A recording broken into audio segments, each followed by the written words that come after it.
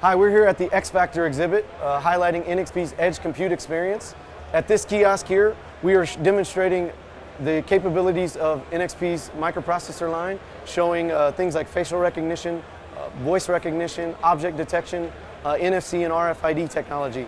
So let me show you what we're doing with our customers here in the kiosk. So the first thing we're going to do is check the user into the system.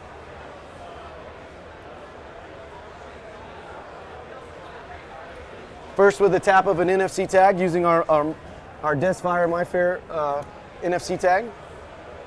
The next thing we, we do with each show goer is we use OCR to do an optical character, character recognition of their, their name. And then finally, we train our kiosks on their face. So I'll do a quick facial training here.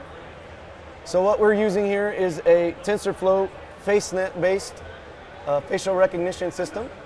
It uses a multi-task convolutional neural net to uh, train each user's face into our system. And then we transfer those images to a Layerscape 2088 device, which processes uh, each user's face into a JSON string of 128 points. And then we sync that data to all of the kiosks within our, our pavilion here.